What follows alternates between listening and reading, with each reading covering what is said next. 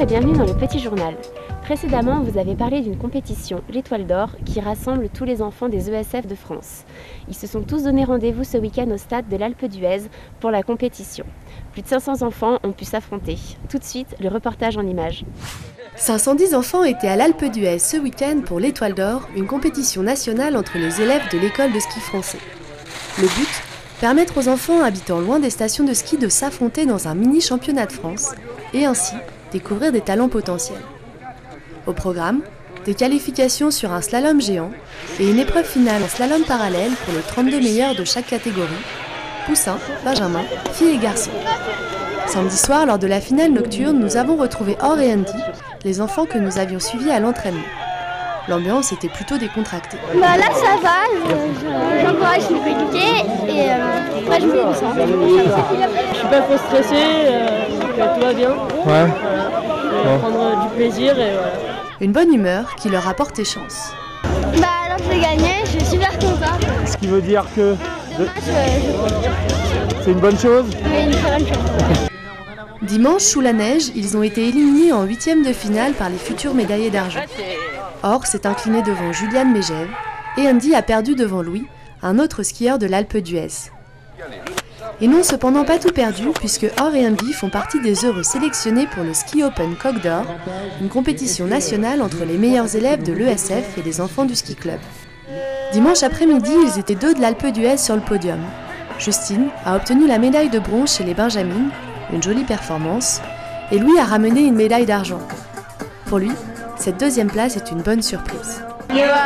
Je pensais pas être deuxième parce que c'est la première année que je fais euh, que je suis un Benjamin donc euh, je pensais pas et je suis plutôt content. Une médaille qu'il doit en partie à ses deux coachs, Fred et Damien. Donc on a fait une bonne évolution ensemble et euh, maintenant eh ben, je passe le flambeau à le second coach. Voilà, Damien donc, qui a entraîné le petit frère, Polo, qui a fait super résultat sur la course des partenaires ce matin. Et, euh, et puis voilà, donc là je vais reprendre un petit peu les, les deux temps, là je les reprends un peu en fin de saison et l'année prochaine pour essayer de les faire évoluer au maximum. Pourtant, il ne se voit pas devenir skieur professionnel un jour. Bah, je fais ça pour le fun parce que c'est pas avec ça je manger. Gauthier de Tessière le fait depuis longtemps grâce au ski. Le skieur professionnel et ancien vainqueur de l'Étoile d'Or était à l'Alpe d'Huez pour la remise des médailles. Le moyen de revenir un peu sur sa carrière. Pour la petite histoire, moi je viens de Clermont-Ferrand et euh, j'ai toujours adoré le ski. Je, venais comme vous en vacances et j'adorais ça. J'ai- J'ai tout de suite euh, pris le virus du ski.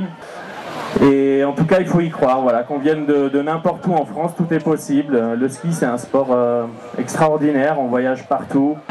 Allez-y à fond, c'est c'est un sport génial. Voilà. Merci à tous et euh, amusez-vous bien. Un podium qui s'est déroulé dans la joie et la bonne humeur. Cette semaine, le cinéma du Palais vous propose un film qui retrace la vie d'un célèbre chanteur français, Clo-Clo. Tout de suite, la bande-annonce.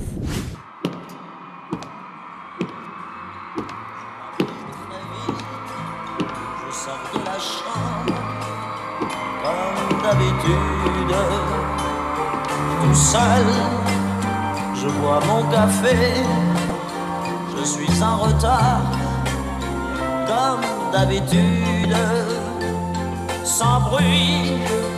Je quitte la maison, tout est dehors comme d'habitude. J'ai froid.